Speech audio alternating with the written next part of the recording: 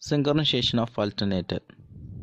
The synchronization of alternator means connecting an alternator into grid in parallel with many other alternators.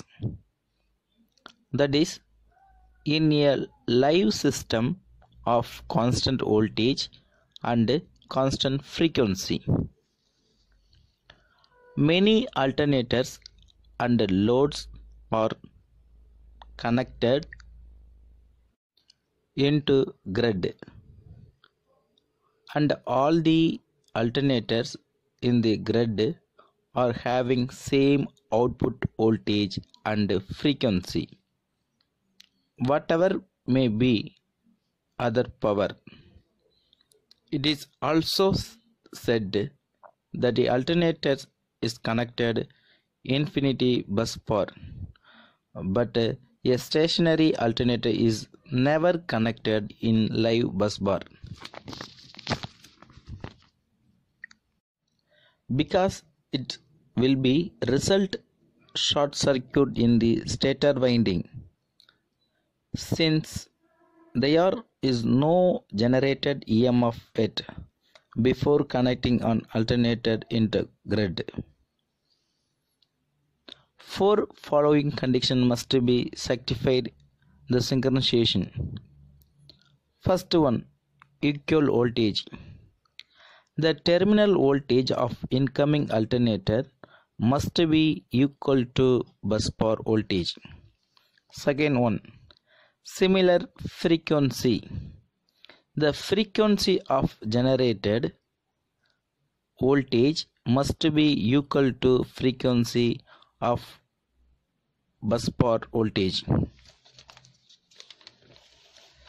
Third one phase sequence.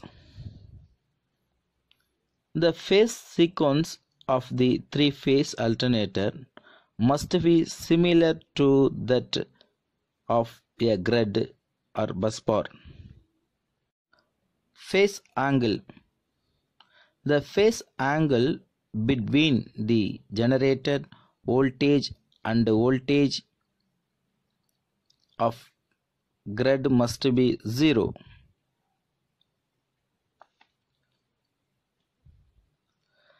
Common method used for synchronization the alternator. First one three dark lamp methods.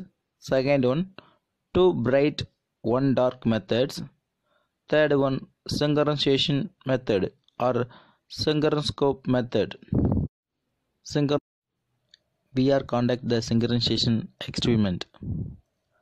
This experiment we need requirements major alternator and prime mover dc motor. The alternator rating maybe have 7.5 kVA 10.2 amperes 420 volt the rated speed 1500 another is a dc motor H 10 hp 40 amperes amps 220 volt rated speed 1500 we need voltage measuring the voltmeters current measuring the ammeters and rheostats and the synchronization lamp and the connecting wires some materials. The dc motor that now acting the